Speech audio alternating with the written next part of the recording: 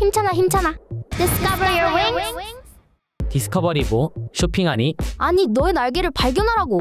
2023년도 제9회 고등학교 외국어 동아리 발표회의 슬로건이야. 인천 고등학교의 외국어 동아리 학생들이 자신의 날개를 꺼내 힘차게 날갯짓을 하듯 잠재력을 발휘한다는 뜻이란 말씀.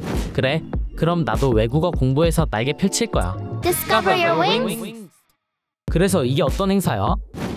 작년 제8회에 이어 올해 제9회에서도 메타버스라는 가상 공간을 통해 고등학교 외국어 동아리 발표회가 진행되는데 그동안 동아리 학생들이 기울인 노력과 정성을 나누고 서로 날개짓으로 응원하는 행사라는 말씀.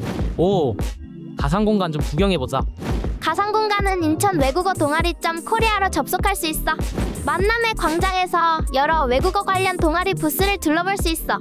그리고 동아리 학생들의 작품들과 간단한 퀴즈 게임들이 전시되어 있지. 가상 공간으로 보니 진짜 재미있겠다 그럼 여기엔 정확히 어떤 동아리와 작품들이 전시되는 거야?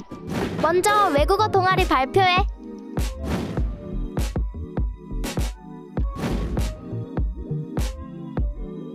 세계를 보듬는 영어 동화 창작 동아리 창작물 가상 공간에서 이렇게 작품을 둘러보고 퀴즈를 푸는 것 말고도 어떤 걸 할 수 있어?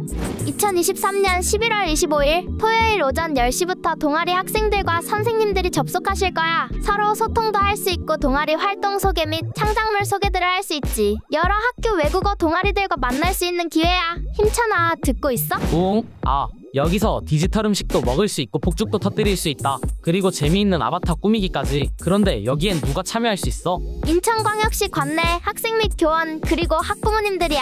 참여 방법은 PC나 노트북에서 인터넷 브라우저를 열고 주소창에 인천 외국어 동아리.점 코리아를 입력하면 접속할 수 있어.